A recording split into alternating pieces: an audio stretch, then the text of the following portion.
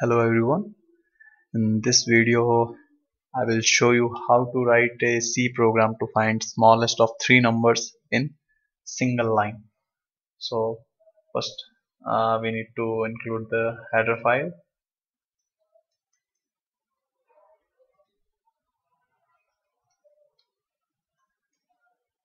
Next uh, let's declare three variables and assign some value okay. So now uh, we are going to insert our logic within a single line. So we are going to use here printf statement and this statement will directly print the smallest number. Now here what we are going to use we are going to use ternary operator. So in ternary operator first we need to specify the condition. So we are specifying the condition if a less than b. So in that case we are having to portion.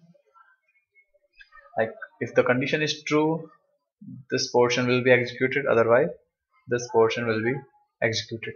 So now uh, if the condition is true again we need to check if a is also less than c. So if this is also, uh, so in this portion we are going to use again one more ternary operator.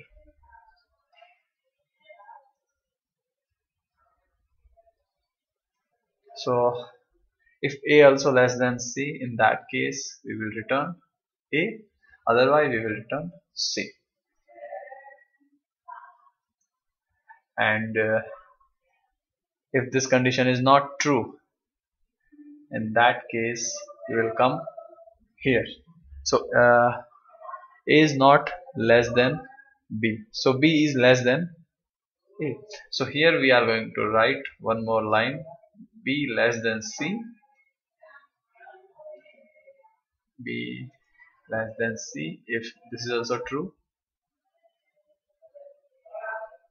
So we have uh, included the entire logic of finding minimum of three numbers. Uh, the same uh, it can be used to find out maximum of three numbers as well. Now let's see the execution part. We will save this file. We will compile it okay so what's the no such file or directory so the thing is that this file is saved on desktop. So we need to change our directory to desktop and now we will compile it. So it's compiled successfully.